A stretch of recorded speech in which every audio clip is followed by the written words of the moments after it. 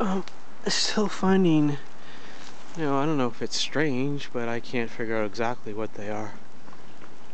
Uh, stone formation. There's a jogger.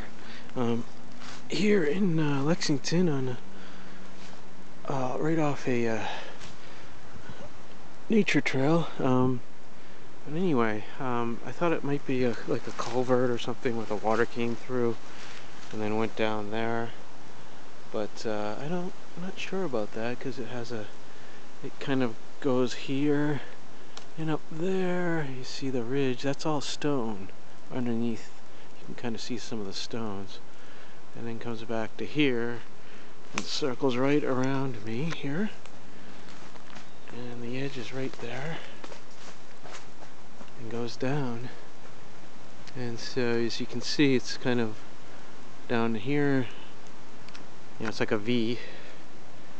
So anybody who knows or might know, um, I don't know. Something, remnants of the past, uh, regardless.